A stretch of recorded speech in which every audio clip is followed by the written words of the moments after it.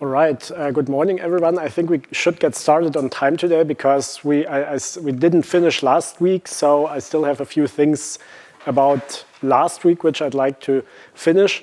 Um, first of all, a few updates because there have been a few questions which uh, I promised I'd look up. The one was maybe you remember this graph of how much energy different different technologies use, and I think Pavel, you asked if how it's 4G. So I couldn't find exact numbers, so this is an estimate, but it will behave very similar to the rest. So the initial initial st startup cost will be higher if you transfer very small amounts of data, but if you transfer bigger amounts, they will uh, go up very slowly compared to 3G, for example, because the transmission will simply be over uh, in, in, a much shorter time frame. And so the total energy that you use will at some point be, uh, be lower with, uh, with 4G. Uh, so that's, again, that's not an exact number right now because the, the original test didn't, um, didn't include 4Gs uh, and uh, they probably haven't repeated it, but as a rough estimate, uh, this, this might give you an idea. Um, or I've also updated these uh, in Moodle, so um, maybe it's a good idea uh, if you download the slides that from time to time you look if I've updated them. I don't know if you can actually see that in Moodle somehow, but um, I'm, I'm trying to keep them keep them up to date. Okay, so that's it's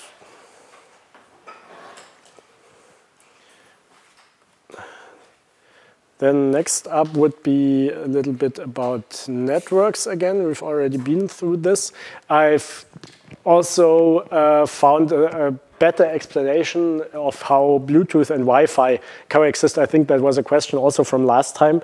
So um, I've mentioned this already that Bluetooth uses both use spread spectrum techniques, so, so, they use a wider range of spectrum than they actually need, but they do that in quite different ways. So Bluetooth actually just uses very small channels, but many of them and hops between them frequently at a, at a high rate. Um, Wi-Fi, on the other hand, uses uh, such a digital spread spectrum technique um, which results in uh, a very wide usage of bandwidth, but uh, basically at lower energy, exactly. And now if you, if you lay them on top of each other, you can already see that um, they will interfere, but it's not, not that big of a problem because um, um, even if you get one Bluetooth transmission, then you will probably still be able to recover the entire Wi-Fi signal because it's spread out over, over a much wider range. And you will only get this, this interference uh, for a very short time because then Bluetooth has already switched on to the next, uh, to the next channel. And if you have some kind of integrated transceiver, then you can even do uh, this. Then the Bluetooth uh, transceiver will simply avoid the channel on which the Wi-Fi is currently uh, running and will basically hop hop around that channel so you don't ideally get any interference at all. So that's the, the idea behind these different modulation techniques. And because, so if Bluetooth would also use direct sequence spread spectrum, then you would need two different channels. But since they use um, um, completely different modulation techniques, you can use them more or less on the same channel without getting too much problems. Okay. Uh, and now I'd like to continue with what we actually skipped uh, last week. So I have to skip ahead for a bit. Uh, somewhere below here, no.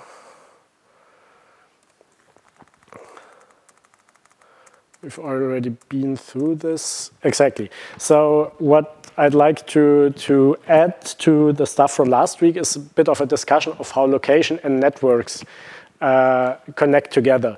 So we talked about physical location last time for a while. Uh, today we'll talk about network location. So this is used what the network in, in its entirety uses to route uh, data or uh, phone calls. And this is similar to cell-based location. So you need to know basically which access point, which base station I need to send the data to so that it then can be delivered to the, uh, to the user's uh, device. And that yeah, might be the ID of, of a cell tower, just as in network location, or it might be the, the address of, of the access point. Um, the big issue here is that um, until now, we were always looking for our own location. Now, with network location, you actually need to know the location of the other device which you want to communicate with. And uh, uh, this in basically traditionally in a wired network, this was simply done with uh, broadcasts. So um, you basically asked all devices in the network who has address so and so, and then the right device would answer, oh, it's me, please deliver your data to me. Um, and of course, that wouldn't work at all in a global network uh, like, like the internet, so you couldn't use a broadcast to, uh, to find a device which is on the other side of the globe, basically, because then the network would simply be flooded all the time by broadcasts. Um, so that's not an option, and we need to find something, something different. So one example of how this is solved is in UMTS or also GSM, similar concept, and as far as I know, also LTE, so that hasn't really changed that we have so-called location registers. So there's a home location register, and if you buy a new SIM card, then uh, it's more or less randomly assigned to a home location register. Uh, usually it's the one for the town where you bought the card, for example, or where you first activated it. And um, on the other hand, we have the visitor location register, which is uh, keeping track of devices which are from a different town, basically, so which are in a register to a network that is not connected to their um, home location register. So if you remember this uh, slightly complex uh, graphic, then we have somewhere here in the core network, we have the home location register, which collects data for uh, yeah, devices which are mm, basically uh, associated with that network. And then for uh, every mobile switching center, so which serves a couple of base stations together, we have the visitor location register. And uh, so the basic process now is um, if I want to initiate a connection to another device, then the network first attempts to look up that device in the visitor location register. So it tries to see is it in the, the same city where you are, because that's actually often, uh, most calls are within the same general area because you're calling a friend to see if uh, they want to come over for dinner or something. And um, so most of the time you can actually find the correct device already by looking it up in the visitor location register because it's in the same area. If you don't find it in the VLR, then you have to contact the home location register, and that will basically then tell you which other visitor location register to contact. And the, um, the idea is that you don't have to do as many updates in the home location register because if you would keep track of all devices within one database, the home location register, then you would get, would get an insane amount of, of connections and queries to that database.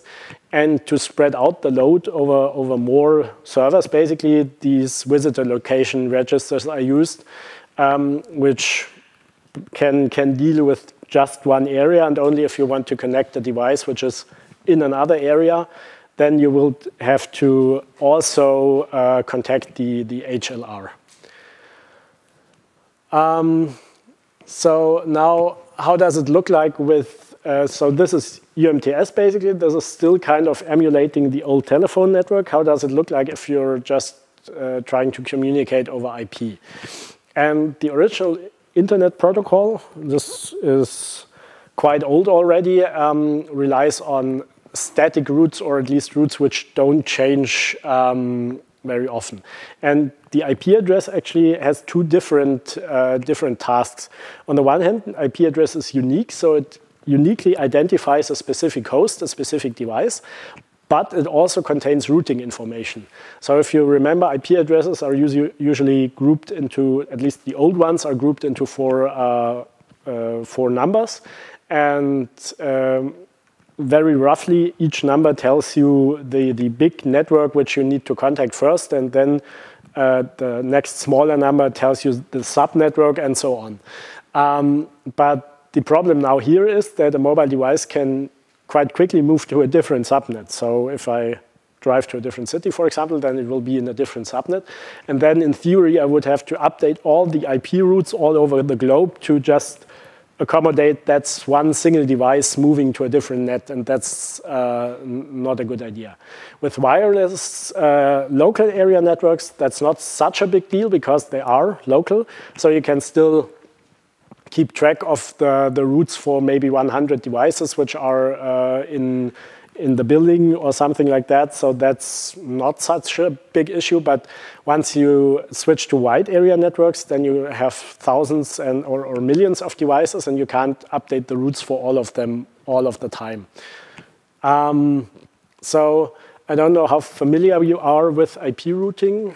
Uh, anyone's ever come in contact with that? Okay, um, maybe half of it. So let's just briefly go through how, how that, such, a, such a regular routing process would look like. Yes, please. Mm -hmm.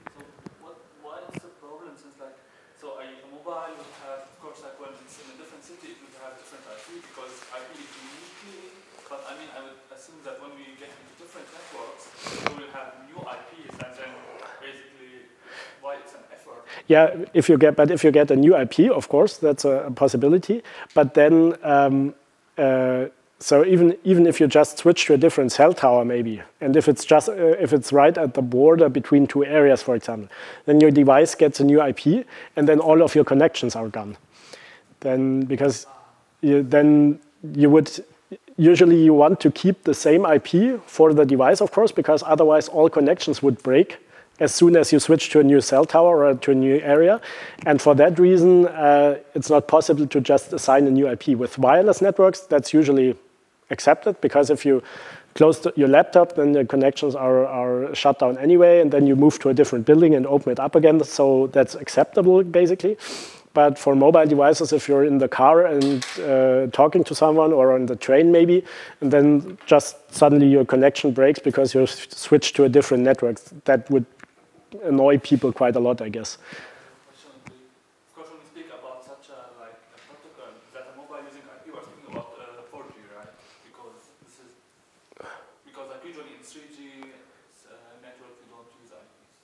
Right, exactly. So right now I'm talking about IP communication, and you can also have IP communication on 3G, of course.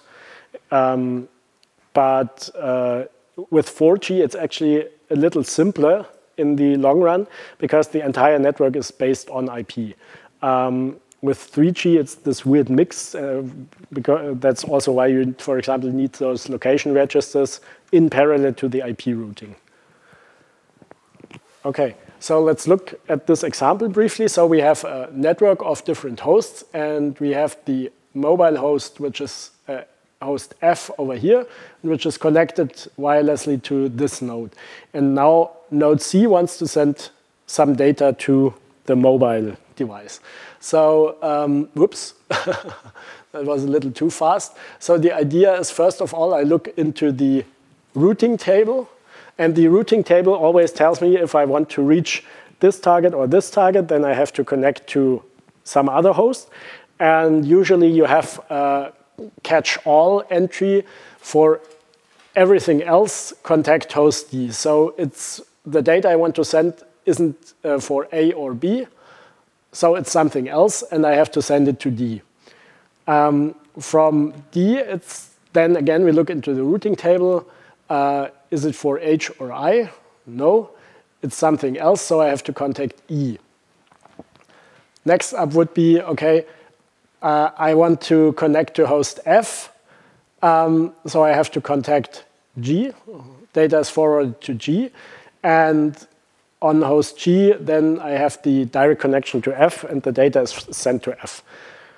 So far, so good. That's how regular IP works. Now, the problem is when the mobile device moves and moves to a different subnet, then suddenly all of these routing tables would have to be updated. So uh, this one is now wrong, of course. This one is also wrong, so at least two different hosts in this very simple example would need updated routing tables. And uh, in a much bigger network, of course, it would get much more complex. And that's the reason why, why we have kind of a problem here. Um, does anyone have an idea how this is, is solved in real mobile networks? Yeah?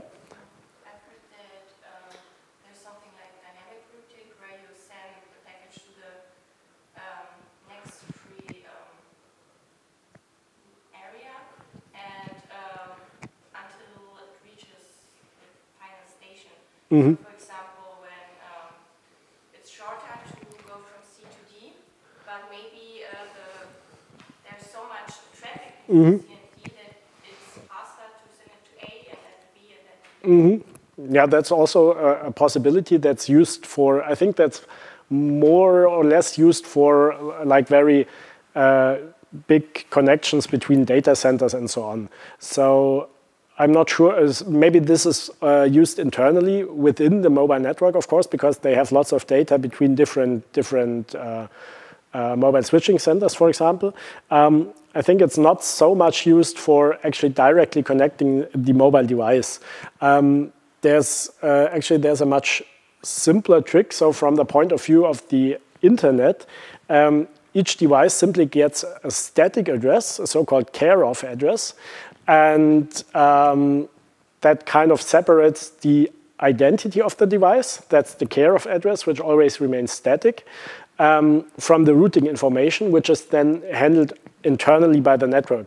So the, uh, from when you, when you send IP data from the internet to a mobile device, then you send it actually to a static address, which is some server uh, belonging to the phone company, which is of course doesn't change, so the routes don't have to change, uh, at least not often. And uh, internally, the uh, network does, for example, the lookup again via home location register and so on to actually deliver the data internally to the mobile device. So um, internally, the network might still use IP, but they can uh, they can actually optimize their own routing tables, um, for example, to uh, deal with the, uh, with the moving devices.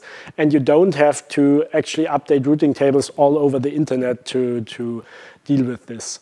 Um, the only time this might be a problem is when you actually move to a different provider. So if you have roaming uh, in your contract and uh, your current provider doesn't offer coverage for the area where you are, and you actually have to switch to a different provider because then usually the care of address will change because uh, the providers from the, from the point of view of the internet, basically, they have different subnets, different addresses, and then you will get a different public IP address.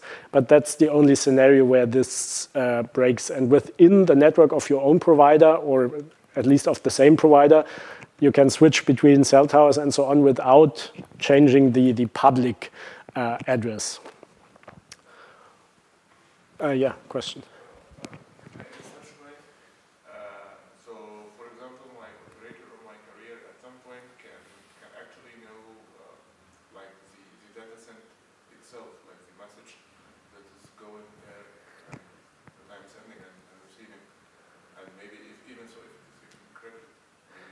Um, well, in,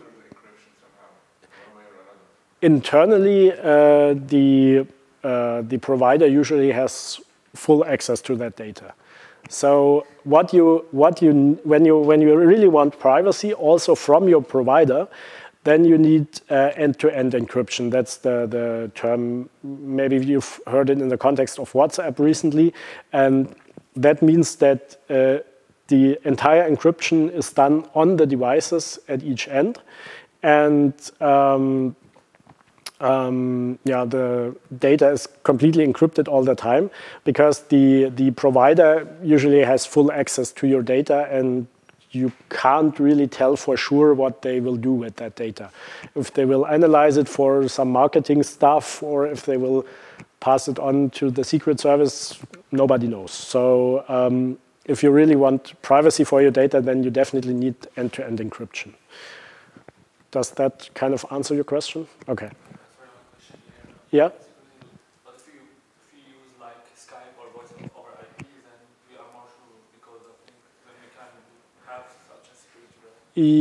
Skype uh, does encryption, but it's only encrypted basically from your device to the Skype server. So the provider can't look at it, but, the, but Skype itself, they can. So a little better, but not, not much better, actually. Okay, so just to summarize, um, there's a difference between network location and physical location, which is important to keep uh, in mind, I think. Um, we have these location registers, which are uh, part of UMTS, which are still part of LTE, but uh, it's a little less complex because uh, internally, as I've already mentioned, LTE um, relies on IP. So these are more or less simply big routers, which also try to keep track of the devices.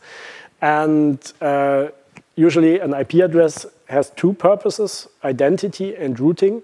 And to separate these two to um, deal with moving devices, uh, usually this kind of static care of address um, is used. Um, are there any more questions relating to this topic? Um, one more thing maybe worth mentioning is that uh, IP6 actually has lots of built-in provisions for dealing with um, mobile devices, but most of the time uh, the providers simply haven't switched yet. So they're still using IP4 internally, and so all this, uh, this stuff is still required to, to deal with IP4 um, devices. IP6 actually uh, could, in theory, give you a valid global IP address, which stays the same for your mobile device and which moves along with your device as you as you switch networks. But it's not really uh, really used in in practice currently, at least not as far as I know. Okay, so then we're done with what uh, should have finished.